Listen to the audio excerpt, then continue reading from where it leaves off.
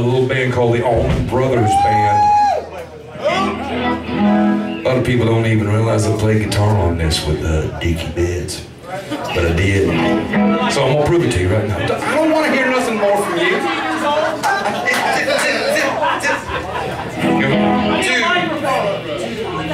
Come on. Two.